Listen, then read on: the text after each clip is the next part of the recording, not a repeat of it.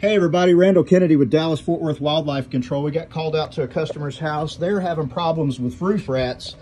Uh, here you can see the droppings. Definitely roof rats.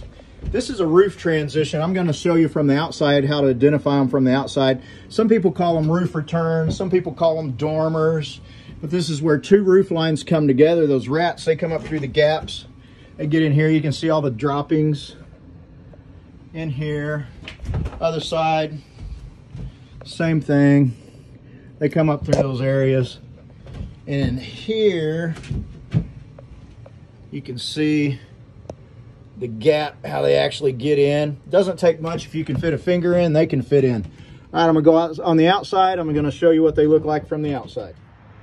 All right, now we're on the outside. You can see here where the soffit comes down to the shingle, there's a gap right there. Also the gaps in between the rock go behind that trim, which leads right up into the attic. You got that one around here, there, and there. Every time there's a roof transition, even on the neighbor's houses, anytime there's a roof transition, uh, that's a that's an area they can get in.